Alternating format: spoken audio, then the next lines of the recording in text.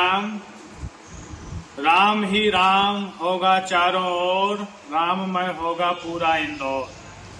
श्री राम मंदिर पंचकुया धाम से परंपरागत रामनवमी के पावन पर्व पर 17 अप्रैल 2024 दिन बुधवार शाम चार बजे भगवान श्री राम जी रथ पर सवार होकर के श्री राम मंदिर पंचकुया से भक्तों के बीच दर्शन देने के लिए प्रस्थान करेंगे।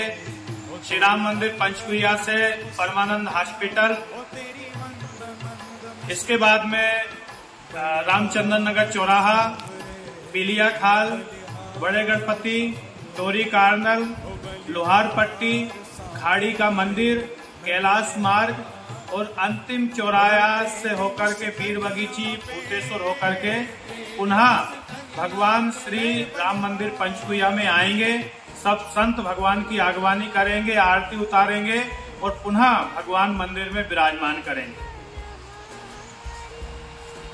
इस बार बहुत बड़ा पर्व रामनवमी का मनाया जा रहा है पूरे देश के साथ साथ पूरे विश्व में और पूरे ब्रह्मांड में।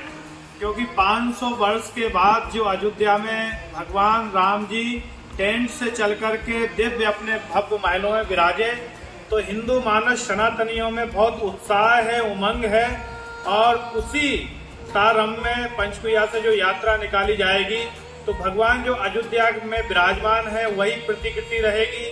हनुमान जी रहेंगे, दास हनुमान जी और गौ की हत्या पूरे देश में बंद हो, यह यात्रा उसको समर्पित रहेगी कि गो हत्या पूरे देश में बंद हो। तो गाय की प्रतिकृति भी रहेगी पूरे भारतीय वेशभूषा में महिलाएँ भी रहेंगी, पुरुष भी रहेंगे, बच्चे भी रहेंगे। और यात्रा की विशेषता है कि गजानन भगवान पूरी यात्रा की आगवानी करेंगे। आगे आगे वह चलेंगे, बैंड चलेंगे, भजन गाड़ी चलेंगे और भक्त लोग भजन कीर्तन करते हुए खूब आनंद और उत्साह के साथ में भगवा ध्वज लहराते हुए राम जी के साथ में चलेंगे। लोकल के लिए राधिका कोडवानी की रिपोर्ट।